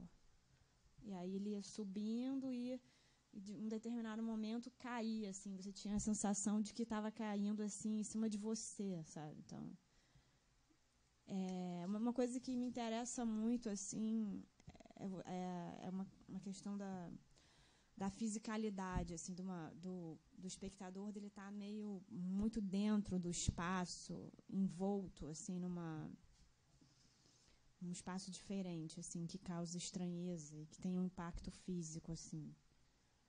Eu eu fiz é, dança moderna quando eu era criança e eu acho que tem muito, uma relação muito forte entre dança, espaço e corpo para mim que não não aparece é, através da dança porque eu nunca quis.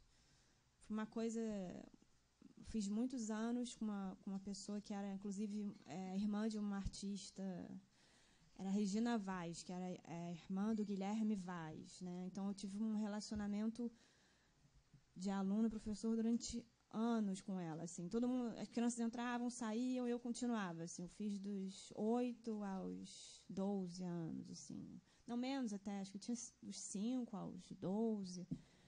E mas eu nunca nunca achei que eu fosse fosse caminhar para o lado da dança, assim. Era uma sei, era uma coisa que acontecia ali para mim, assim, mas não era. Mas eu acho que teve muito a ver com a questão do corpo e de de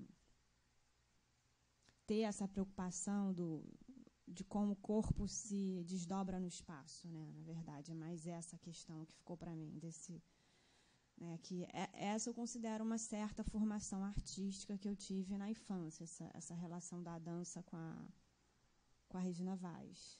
É, pode passar, por favor. E aí eu fiz essa instalação, esse ano de 2010 eu fiz vários trabalhos, hum, enfim, alguns eu gosto mais, outros menos, mas esse foi um trabalho mais importante, foi no CCBB, é, chama Bastidor. E aí a gente começa a ver a presença desses elementos pré-fabricados da arquitetura, né, que é esse bloco hexagonal, que ele é desenterrado assim do chão e, e se torna tridimensional. E esses, essas placas brancas são placas de policarbonato alveolar, que é um material de vedação, um material que pode substituir um vidro, digamos assim, mas ele é plástico. E aí tem essa ideia assim de subverter um pouco os materiais, um material que é para pisar, de repente não é mais não está mais assim, o outro que é para vedar, está todo perfurado. E isso criava uma, uma ambiência também, essa coisa de você estar tá envolto num, num, num ambiente, um, uma certa espacialidade. Assim. Pode passar, por favor. Outro ângulo.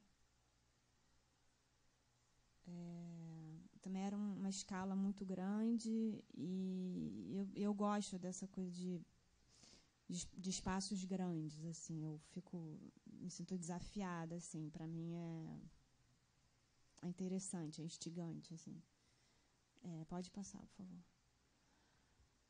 E então essa foi uma, uma, uma segunda exposição em galeria, na Galeria Anita Schwartz, chamou Ensaios Não Destrutivos. É,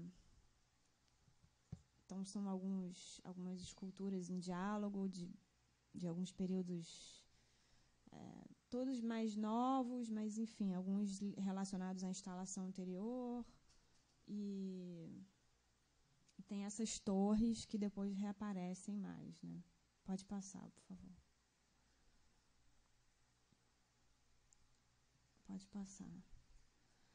E aí depois eu fiz essa exposição chamada Perimetrais, é, onde eu tinha essas torres. Essas torres são feitas com também elementos pré-fabricados, que são os moirões, que são usados para cercas. Né? É, e ao fundo ali tem uma, uma série de gravuras que é, baseadas é, na estrutura da perimetral. Né? Quando eu soube que a perimetral ia ser demolida, eu fiquei um pouco assim mixed feelings assim, entendeu? E aí eu eu achei que seria assim interessante fazer um, um, uma memória dela, né, da estrutura dela. E e aí eu fotografei toda a estrutura por baixo e transpus para desenhos, né? São desenhos da estrutura e aí existe um, um diálogo dessa, desses desenhos, dessas estruturas, feitos através de gravura da água tinta. Então tem a questão da série, é, da sobreposição é, as gravuras se repetem em diversas combinações possíveis e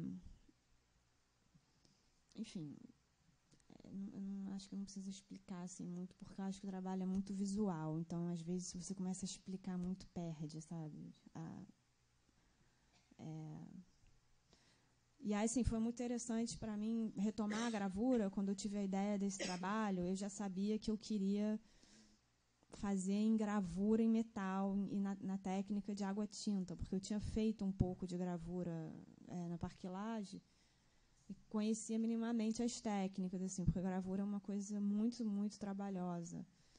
E aí eu conheci umas pessoas que, enfim, me ajudaram, que fizeram colaboração e, e a gente fez esse trabalho das gravuras ali atrás. Pode passar, por favor. Aqui. Então, um certo assim, inventário dos tipos de estrutura que tinham ali por baixo da perimetral. Inclusive, é, essas tem umas partes que são da primeira fase da perimetral, outras partes são que a perimetral foi construída em duas etapas. Mas enfim, eu não, também não quis. Então, essa parte mais sólida, assim, meio triangular, é da primeira fase, que ainda é concreto armado. É, pode passar, por favor. Aí são as, as, as torres feitas de, de moirões. Né? E então a ideia é usar sempre elementos pré-existentes, né? não é, feitos de concreto, né? Esse, essas, essas peças não foram executadas por mim, eu não fiz a forma, eu, eu peguei elementos que já existiam e juntei para que virassem essas torres, né? Eu nunca quis fazer os moldes, assim, entendeu? É, não me interessava assim muito para o trabalho fazer os moldes. Pode passar, por favor. Aí uma, as, as torres na rua, né, no Man. Eu acho que, assim, eu, depois daquela primeira experiência lá da rua que foi vandalizada e tal, eu, eu acho que a rua traz muita riqueza assim para o trabalho. Você colocar um trabalho no meio da rua é uma é sempre uma surpresa, uma aventura, é inesperado assim. Então eu acho muito legal assim poder é, é super difícil oportunidade, né, escultura pública, todas as dificuldades do mundo, técnicas de sustentação, de, de aguentar o tempo, de aguentar o vandalismo, né, ou, ou sim ou não, ou aceitar o vandalismo, mas é muito louco, assim. É verdade. Pode passar, por favor. E aí eu fiz, é, ano passado, não, há dois anos atrás, umas monotipias é, usando os blocos de, de concreto, né? tem uma sobreposição, são monotipias em seda. Eu quis retomar essa, essa experiência da gravura, tinha sido muito boa, né? que eu fiz de gravura em metal e eu soube que tinha um. A de metal eu fiz em São Paulo. Aí eu soube que tinha um ateliê aqui, que uma pessoa super bacana e e aí eu fiz algumas monotipias é, em 2016. Essas que foram sobre seda, trans, meio transparente. Pode passar. E essas foram sobre é, papel. E pode passar, por favor. Agora, então, e aí esse é um trabalho, um dos, não é o mais recente, mas é o último assim, que eu quis mostrar. É, ano passado eu comecei a a fazer cerâmica. Enfim, eu estava um pouco. É, querendo botar a mão na paura. e aí, é, o primeiro trabalho que eu fiz de cerâmica foram essas, essas pontes, esses viadutos imaginários, retomando um pouco aquele trabalho das fitas, né? Mas com material que é, enfim, milenar, que não vai se destruir tão facilmente, enfim, porque isso uma coisa até que comecei foi uma, uma questão daquele momento lá que, que, que surgiu. E então, assim, é, é, são os trabalhos recentes, uma escala bem menor, uma- um trabalho meio que inicial, assim, na cerâmica, entendeu? E aí terminou com eles. Obrigada.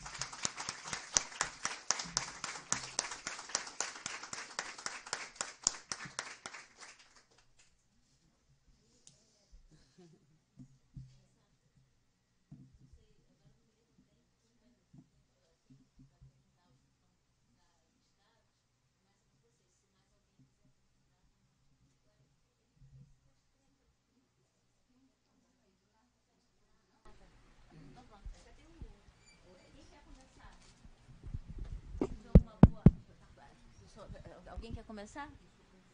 Ninguém? Posso começar? Ah, então tá, obrigada. Você fala seu nome. Claro. Talvez você. É, devia- eu me apressei, né? Devia ter lido antes o que eu tinha. Mas não, vamos lá.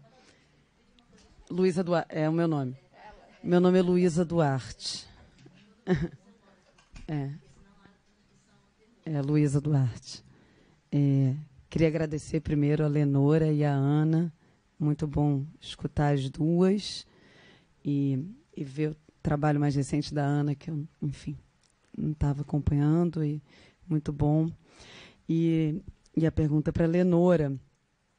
Na verdade, Lenora, são duas perguntas. Eu acho que tem um. O seu trabalho é evidente, né? A gente pôde ver né, um, um arco longo da sua trajetória aqui hoje. Vamos vou tentar me fazer explicar. A gente vive numa época onde a arte contemporânea, acho que isso é um pouco lugar comum até, e vi- vive uma hiperinflação, de, às vezes, de temas, de narrativas. Né? A gente não, é- não é incomum você ir a uma Bienal ou alguma coisa você dizer, nossa, mas né, como, quase como se esse gesto artístico acabasse ilustrando alguma coisa, algum conteúdo político, etc. e tal. O seu trabalho, de alguma maneira, se eu estiver enganada, você me corrige, vem dessa relação de poesia imagem, de, né, de linguagem escrita e imagem visual, como você bem começou com seu pai, com a sua mãe. E eu acho que vem de toda uma. Né, tem um esforço aí justamente de conjugar é, é, a dimensão sensível e a dimensão inteligível, né? É, pensando que a arte não representa alguma coisa, mas a arte apresenta alguma coisa, para falar com o meu querido Walter Benjamin. Né? A gente né, não está querendo dizer através da arte, mas na arte. Daí o silêncio, que o, né, enfim, têm mil e um gestos aí, né? Já não basta escrever, a língua vai lá e tem uma relação direta com a máquina de escrever. enfim. E, mas, ao mesmo tempo, dito isso, que eu acho que seu trabalho está nesse engajamento, tem alguns momentos onde ele vai e ele vai visitar certas questões do mundo. Né? O, o Procura-me é, tem um def- como deflagra, né, ponto de deflagração o 2001. É, eu acho que no Quase Auroras tinha um que tinha a questão da água, né, da seca, do, Volume morto. do volume morto, do agora de São Paulo sem água. É, a gente pode lembrar de alguns outros momentos onde né, o seu trabalho, o mesmo medo, a paura, eu acho que né, tem um, um afeto do medo, um afeto predominante na sociedade contemporânea.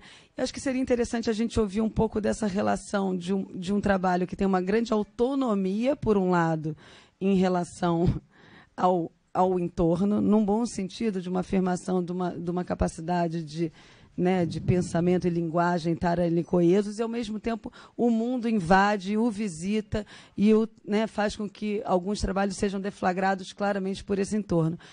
Queria te ouvir um pouco sobre isso. E outra coisa muito é, clara para mim é, é o humor, né? O humor, não à toa a gente riu algumas vezes aqui, não pela sua capacidade de bem interpretar, de bem falar, mas acho que o humor é um pouco falado sobre o seu trabalho, mas o humor está muito presente. Então, é- são essas duas coisas. Só para começar. Difícil. Bom, é, com relação a esses trabalhos que têm uma ligação mais imediata e tal, eu, assim, de um modo geral, eu confesso que é, eu, eu, eu tenho, às vezes, até um certo prazer, isso de um modo geral, de trabalhar, entre aspas, sob encomenda, é, sobre um estímulo de um tema, eu não, não sei dizer exatamente, mas é, da, da onde veio essa, essa, essa necessidade, às vezes. Então, por exemplo, quando eu sou convidada para alguma exposição que o curador já elege um tema inicial e tal, é, isso para mim sempre foi muito estimulante. Né? Por outro lado, quer dizer, tem esses trabalhos que, na verdade, nasceram de estímulos que eu própria eh, fui surpreendida ali pela situação, né, e situações que, que, que, que vieram naturalmente. É, mas eu, eu acho que, sei lá, de algum modo eu circulo entre, entre quer dizer, são, são essas duas situações né, é, que, que me movem. Né. É, agora, assim, relativamente né, nesses tempos mais recentes e tal, quer dizer, na, a coisa, por exemplo, da Paura, que é esse último trabalho, foi foi quase inevitável, porque eu, inclusive, estava em Nova York e tal, e, e, ao mesmo tempo via situações, acompanhando, não só do Brasil, mas do mundo e tal. Ele foi, quer dizer, aquilo foi nascendo, foi, foi ficando necessário, sabe? E foi ganhando corpo tal e depois veio a marcha Gessing que acabou né, dando uma arrematada ali no, naquela naquilo que eu vinha pensando. E então a própria situação do Procuro-me também que foi assim também eu vi na televisão quer dizer eu não estava nem pensando naquelas imagens e elas imediatamente me vieram. Então meio cada caso é um caso, né, e grupos separados de, de, de, de situações também. Né? E, mas no, caso do Pisa na Paura, realmente foi uma coisa que foi gradativa. Ela começou com a história, até que eu falei no processo, acabei lembrando daquele primeiro poema, dos primeiros poemas, o medo da forma amorfa, que de algum modo é, é uma situação que se está vivendo, uma forma, grande forma morfa, né, no próprio planeta, né, e que não se sabe aonde vai dar, mas, enfim. É, então, uh, nesse caso, foi, foi uma coisa assim que, durante o processo, foi, foi, foi ganhando e, foi me empurrando. Foi uma coisa quase. Sabe? Chegou uma hora eu já estava indo por aquilo e. E Bom, não sei exatamente até que ponto eu respondi. Por outro lado, uh, eu a questão do humor também, de fato, isso é, um, é, uma situação, sei lá, eu acho que é uma coisa quase desde a infância que eu tenho isso. Essa, sei lá, eu gosto sempre. A minha mãe até brincava comigo, me chamava de Maria Exibidinha. e a situação de fazer graça, de que é, que é, que é um viés até meio de performático, de, de e, e, um prazer muito grande, né? É, muito, por exemplo, quando eu realizo leituras, é, é, é quase tem, tem, tem um, acho que tem um conteúdo aí um pouco infantil que foi né, ali perpa, fui crescendo, aquele foi perpassando o trabalho. Né? É, só mais uma coisa eu não sei se eu vou poder ficar até o fim, fim, mas eu queria ouvir um depoimento seu sobre uma experiência que eu tenho certeza que foi muito forte, que foi participar do Mulheres Radicais, porque eu pesquisei um pouco sobre o documentário que está sendo feito pela pela conspiração, pela Isabel, pelas Isabéis, uhum. e, e, pude né, pesquisar um tanto dessa exposição e é muito impressionante os relatos e como foi esse processo. Eu acho que seria importante para todo mundo aqui eu escutar um pouco de você, como foi fazer parte dessa exposição e trocar com essas artistas radicais e tão poderosas ali presentes. Bom, de fato, foi da, da, das experiências que eu tive até hoje, essa foi assim, uma experiência muito forte. É, bom, fiquei muito feliz quando fui convidada para participar. E, e a oportunidade, justamente, porque são no total 120 é, artistas da América Latina e ticanas, a oportunidade de, de, primeiro, de ter a percepção que teve um momento que todas nós estávamos vivendo e produzindo, é, é, sem, sem contar, quer dizer, algumas sim, obviamente, né? Mas e- e- e sem, sem, sem contato e tudo aquilo estava fluindo. Quer dizer, tem grande parte daquelas artistas eu me identifico e vejo trabalhos que penso poderia ter feito, né? É, uma, uma conversa que estava, vamos dizer, meio velada, né? E que a, a Cecília Fajar, do Rio, e a Andréa junto acabaram numa pesquisa de quase 10 anos, né?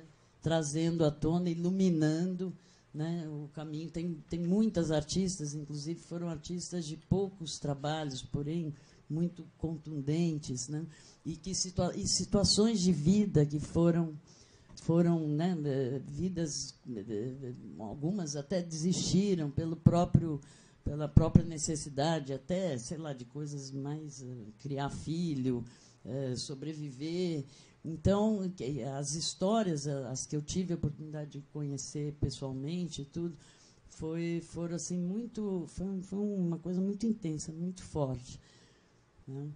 e é, bom, e- e- e esse recorte do período, de algum modo, não mera coincidência, mas América Latina, várias, né, praticamente todos os artistas estão lá passaram por situações de ditadura, etc. Então, então ditadura, etc. é ótimo. ditadura, etc. É. Agora, eh, mas, por exemplo, e cada uma né, eh, se, se expressando ali do seu modo. Eu até, por exemplo, uma questão até que já me colocaram várias vezes, até que ponto, quando eu estava fazendo, quando eu fiz o poema e o George Siegel, até que ponto eu tinha uma consciência, quer dizer, obviamente eu sabia tudo que estava acontecendo, até meu próprio pai também, enfim, teve envolvido em situações e tal, e ajuda amigos, esconde no estúdio e coisas por aí.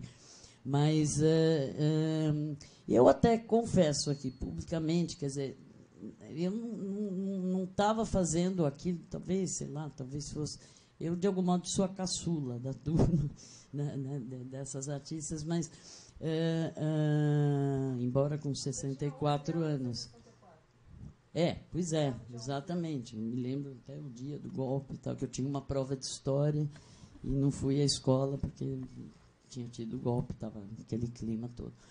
E, mas depois, quer dizer, quando eu produzi o trabalho, o George Siegel, o vídeo, né, como eu falei, é 85, e o poema de 79, embora o primeiro George Siegel também é 75, aquele da, da poesia em greve. É, e que foi feito pela coisa do tema lá da escola, tá, tá, tá. Então eu acho, quer dizer, não, não é que, que, que eu estava criando aquilo, quer dizer, aquilo né, era, uma- coisa que estava ali, não sei até que ponto, né, o contexto do momento histórico e tal, eh, exerceu alguma influência direta, né. Por outro lado, acabam, eu acabo recebendo algumas leituras nesse sentido que, que, é, que é curioso também até que ponto lidar, quer dizer, como lidar com isso, né? Eh, a questão da, da, da, de ter uma consciência de querer criar um trabalho que, que, que claramente seja um trabalho político, né? Mas também, sei lá, de algum modo isso também eh, ele acaba significando de uma outra maneira, né? E Acho que é meio, meio por aí. Mas, de fato, foi, assim, estar nessa exposição foi uma, assim, um, marco na minha, na minha vida.